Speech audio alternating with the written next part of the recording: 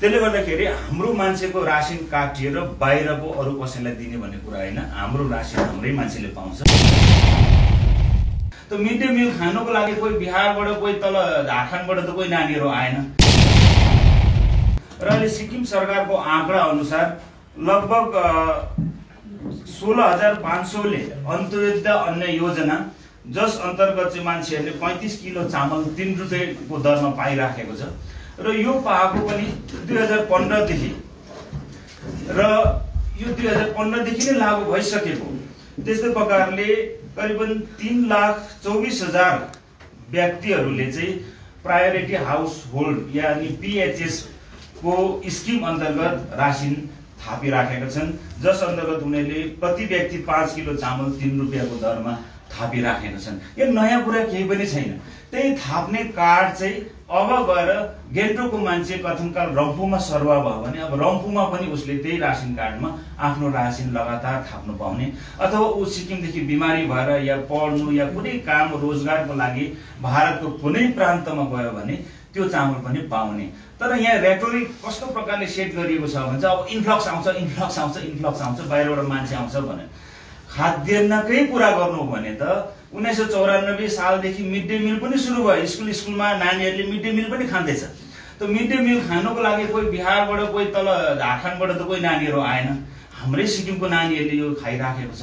र यो one nation one ration card पनि बाहिरकोलाई दिने होइन। बाहिरकोलाई दिने भन्दाखेरि पहिले सिक्किमकै हाम्रै नागरिकहरूले पनि यो रासन कार्ड बनाउनु पर्ने र आधारसँग त्यो कार्ड लिङ्क हुने विषय यो म तपाईँहरू मार्फत जनतामा राख्न चाहन्छु। र यो देशको प्राय प्राय सबै राज्यहरूमा लागु भइसकेको छ। एक दुईवटा स्टेटहरूमा लोकल इस्युजहरू छ जस्तै आसाममा अहिले तपाईँको आसाममा आधार कार्ड चाहिँ thirty six thirty eight percent मात्रै बनिएकोले गर्दाखेरि आधार कार्ड त्यहाँ पूर्ण रूपमा बनिएको छैन र आसाममा अलिकति उनीहरूले रोकिराखेको छ। र अरू दिल्लीमा पनि अलिकति इस्युजहरू छ र लगभग अरू नर्थ इस्टर्न स्टेट्समा मैले काहीँ सोसियल मिडियामा कमेन्ट पढिरहेको थिएँ कि नर्थ इस्टमा लागु भएको छैन भनेर र म उहाँ व्यक्तिलाई पनि म जवाब दिन चाहन्छु कि नर्थ इस्टमा प्राय आसाम छोडेर सबै स्टेटमा लागु सातवटा स्टेटमा लागु भइसकेको छ। र अर्को कुरा मैले सोसियल मिडिया मार्फत विभिन्न व्यक्तित्वहरूको गर्दाखेरि चाहिँ यो रासिन बाहिरकोलाई दिँदाखेरि चाहिँ हाम्रो मान्छेलाई कम्ती हुँदैन भन्ने पनि विषयहरू हामीले देख्यौँ। त्यो कतै पनि हाम्रो मान्छेको रासिन काटेर बाहिरलाई दिने होइन। मानिलियो कोही मजदुर बाहिरबाट आएर या कोही व्यक्ति बाहिरबाट आएर उसले सिक्किममा रासिन थाप्छ भने पहिले त ऊ कहाँ जन्मिएको मानिलियो उत्तर प्रदेशमा जन्मिएको भने उसको आधार कार्ड र भोटर भोटर कार्डलाई लिएर पहिले उसले उत्तर प्रदेशमा उसको रासन कार्ड बनाउनु पर्यो सिक्किममा होइन। लिएर इन्डियाभरि घुमे पनि हाम्रो प्यारेन्ट ब्याङ्कमै हाम्रो एटिएम कार्ड बनिन्छ। प्यारेन्ट ब्याङ्कले हामीलाई चेकबुक दिन्छ होइन? गान्तोकमा खाता खोलेर चाहिँ दिल्लीमा गएर चेकबुक गर्दाखेरि त्यो दिँदैन। त्यस्तै प्रकारले जुन स्टेटमा ऊ जन्मिएको छ त्यही स्टेटको मान्छेले त्यहीँनिर उसको रासन कार्ड बनाउँछ। र त्यो बोकेर ऊ अरू प्रान्तमा जान्छ तर त्यो प्रान्तमा पनि पहिले दुई महिनासम्म उसको त्यहाँ रेजिस्ट्रेसनको समय लाग्छ। र उसले मानिलिनुहोस् बिहारमा रासिन थाप्दै थियो भने त्यो रासिन काटिएर मानिलिनुहोस् रम्फूको कुनै दोकानमा उसले थाप्न थाल्छ। त्यसले गर्दाखेरि हाम्रो मान्छेको रासिन काटिएर बाहिरको अरू कसैलाई दिने भन्ने कुरा होइन हाम्रो रासिन हाम्रै मान्छेले पाउँछ र बाहिरको आउनेले पनि उसले रेजिस्ट्रेसन गरेर पाउँछ। र यसमा एउटा विषय के छ भन्दाखेरि चाहिँ अघि मैले भने आधार कार्डसँग लिङ्क भएकोले गर्दाखेरि त्यहाँ ढाँट्ने छाउने कुरा छैन र दुई हजार सोह्रदेखि नै हरेक रासन कार्डमा एउटा यस्तो मेसिन जडान गरिएको छ जबकि त्यो रासिन धारकले जसले रासिन पाउँछ उसले उसको थम इम्प्रेसन लगाउनै पर्छ र उसको सामान उसले पायो पाएन। र दुई हजार सोह्रदेखि नै लागु भएको। तर विडम्बना के हामी देख्दैछौँ भन्दाखेरि जुन सिक्किममा जुन पार्टी दुई हजार सोह्रमा सत्तामा थियो आज त्यही पार्टीकै प्रवक्ताहरूले आएर चाहिँ सोसियल मिडिया मार्फत मिडिया मार्फत चाहिँ सबैभन्दा बेसी अफवाह झुट फैलाइराखेको छन्। उहाँहरू हुन त दुई हजार सोह्रमा एसडिएफ पार्टीमा हुनुहुन्थेन होला तर त्यति बेलाको सरकारले नै लागू गरेको योजनालाई एउटा कार्ड दिने काम मात्रै आजको सरकारले गरेको र त्यति बेला केन्द्रमा पनि भारतीय जनता पार्टी थियो आज पनि केन्द्रमा भारतीय जनता पार्टी छ। त्यस कारणले गर्दाखेरि यो कुनै नौलो कुरा होइन? र कोही सिक्किमबाट भोटर लिस्ट सारेर चाहिँ सिलगढी जानेहरू दुई हजार सोह्रतिर पनि आज फर्केर आएर चाहिँ फेरि यसले तिन सय एकात्तर उडाउँछ यसले धक्का लाउँछ भन्दैछन्। तर उहाँहरूको सिक्किमप्रतिको माया चाहिँ कति थियो भन्दाखेरि चाहिँ दुई हजार पन्ध्र सालमा चाहिँ सिक्किमबाट भोटर लिस्टै काटेर सिलगढीतिर भोटर लिस्ट सार्नेहरू पनि आज आएर चाहिँ फेरि तिन सय एकात्तर एक्टको आलाप गाउँदै गरेको पनि हामी देख्छौँ। किनभने यो चाहिँ जनतालाई सिधा सादा गरेर गुमराह गर्ने जनतालाई ढाँट्ने काम मात्रै भइराखेको हामीले देखिरहेछौँ र मैले अघि भने यसो गर्नाले यो वान नेसन वान रासन कार्डले रासिनमा जति पनि धाँधली भइराखेको थियो मान्छेहरूले पाउने रासिन मानिलिनुहोस् जोरताङको मान्छे गेन्टोक आयो उसको रासिन जोरताङको दोकानमा हराइराखेको थियो भने अब यो काहीँ पनि नहराउने र पन् चौध पन्ध्र करोड रासिन कार्ड धारकको रासिन चाहिँ हराइराखेको थियो भने अब यहाँबाट एउटा ठुलो भ्रष्टाचार पनि अब अन्त हुने केन्द्र सरकारको एउटा लक्ष्य हो। मैले अघि भने सरकार जसको होस् तर सरकारको एउटा लक्ष्य दीर्घ दीर्घम्यादी एउटा लक्ष्य हो। र म लाग्छ सिक्किममा कतिजनालाई जब पनि नेसन भनेर आउँछ जब पनि राष्ट्रको कुरा आउँछ जब पनि राष्ट्रियताको कुरा आउँछ तब उनीहरूलाई एलर्जी भइहाल्छ। अनि त्यही राष्ट्रको हामी राष्ट्रगान गाइरहेछौँ त्यही राष्ट्रको संविधानभित्र हामी बसिरहेका छौँ त्यही राष्ट्रको सेनाले हामीलाई सुरक्षा गरिरहेछ त्यही राष्ट्रले हामीलाई खाद्यान्नदेखि लगेर विभिन्न सुरक्षा हामीलाई दिइराखेको छ त्यही राष्ट्रको हामी गौरवशाली नागरिक हामी आफैलाई ठान्छौँ भने आज जब पनि नेसन भन्ने शब्द एनएटिआइओएन आएपछि कतिजना व्यक्तिहरू सिक्किममा उफ्रिएर प्रेस कन्फरेन्स गरिहाल्ने हामीले देखेको छौँ।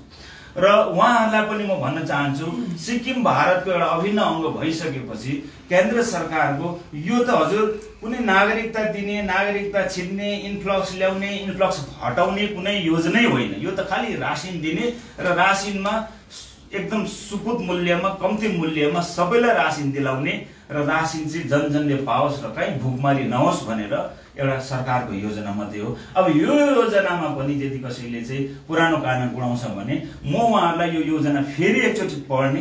किनभने तपाईँहरू पत्रकार बन्धु बान्धवहरूलाई म एउटा सम्झना दिलाउन चाहन्छु। पहिले जब सिएएको कुरा आयो सिक्किममा त्यस्तै हाहाकार मच्यो।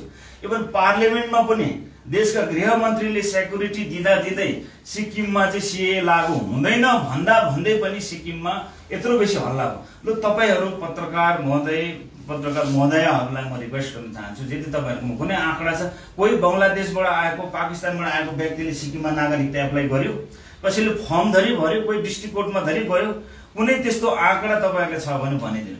किनभने सिक्किममा यो सिए हामीले त्यति बेला पनि भनेको थियौँ। सिए सिक्किममा लाग्दै लाग्दैन। यो बाह्र हात टाढाको कुरामा लिएर हामी बहस नगरौँ। सिक्किमको विकासको कुरा गरौँ सिक्किमको उन्नतिको कुरा गरौँ भने तर त्यति बेला पनि कुरा के भयो भन्दाखेरि चाहिँ यो सिए लाग्यो अब सिक्किम सक्यो सिक्किम ढुटो भयो इन्फ्लक्स आउँछ कुनै कहाँबाट मान्छे आउँछ भनेर चाहिँ एउटा दृष्टान्त जनताहरूलाई यस्तो प्रकारले देखाइयो जनताहरू भयभीत भए। तर एउटै पनि व्यक्तिले न बङ्गलादेशबाट न पाकिस्तानबाट त्यहाँबाट माइनोरिटीमा हुने चाहिँ हिन्दू बुद्धिस्ट इसाई कोही पनि आएर सिक्किममा नागरिकताको लागि आवेदन दिएन। र हामीले त्यो त्यति बेला ग्यारेन्टी गरेको थियौँ। र यहाँबाट पनि ए यो एक्टले त अझै इन्फ्लक्स रोक्छ। किन रोक्छ भन्दाखेरि चाहिँ बिहारको मान्छेले यदि यहाँ सिक्किममा पहिले भोटर कार्ड र आधार कार्डको आधारमा रासन कार्ड बनाउँदै थियो भने चाहिँ अब त उसले बिहारमा जहाँ उसको भोटर कार्ड र आधार कार्ड छ त्यहीँनिर रासन कार्ड बनाउनु पर्यो। अनि ऊ जहाँ जान्छ चाहे सिक्किम बस्छ चाहे बङ्गाल बस्छ दिल्ली बस्छ हरियाणा बस्छ जहाँ पनि उसले यो आफ्नो अधिकार उसले पाउन सक्छ। र यो कुरा म तपाईँहरूको मार्फत राख्न चाहन्छु।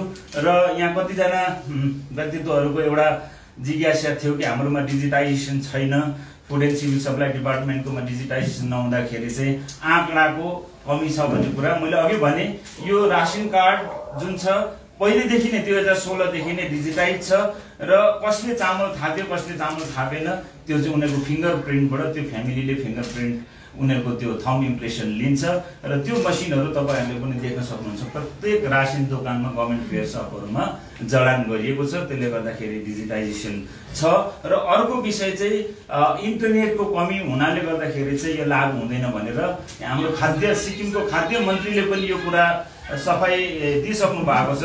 कसैको पनि रेजिस्ट्रेसन गर्नुको लागि चाहिँ दुई महिना लाग्छ। कोही व्यक्ति बिहारबाट आयो या बङ्गालबाट आयो या हरियाणा उडिसा कहीँबाट आयो सिक्किममा आउने बित्तिकै उसलाई चाहिँ त्यो रासिन हामी हातमै राख्ने होइन।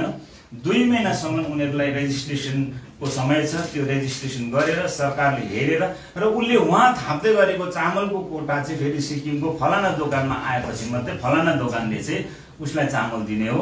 हाम्रो चामल हाम्रो रासिन काटिने होइन। र मैले अघि हजुरहरूलाई आँकडा दिएँ तिन लाख चौबिस हजार। हाम्रो PHS PHS priority house household र करिबन साढे सोह्र हजार भन्नुको मतलब करिबन अस्सी हजार व्यक्तिहरूले अहिले यो रासिनको सुविधाहरू लिइराखेको छन् सिक्किममा। र यसको विरोध गर्नु भनेको चाहिँ मलाई लाग्छ जसले पनि विरोध गर्दैछन् उनीहरू चाहिँ केआरटी मनभोग चामल खानेहरूले चाहिँ यो हाम्रो गरिब जनता जसले एलआइस चामल खाएर लाइनमा बसेर जसले सरकारी दोकानबाट चामलहरू खानु हुँदैछ उहाँहरूको रासिनको विरोध गरेको हामी सम्झिन्छौँ किनभने यो सिधा उहाँहरूले पाउने लाभ हो। करिबन चार लाख प्लस चार लाख चार हजार व्यक्तिहरूले चाहिँ यो रासिन थाप्दैछन् अहिले सिक्किममा।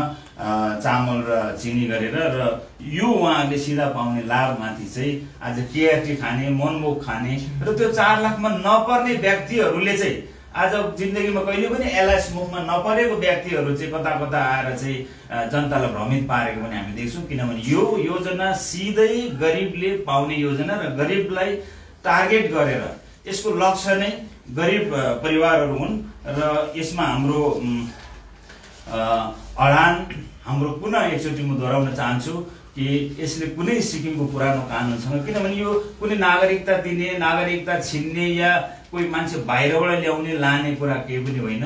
केवल अनि केवल जनताले रासिन थाप्ने र रासिन पाउने कुरा हो।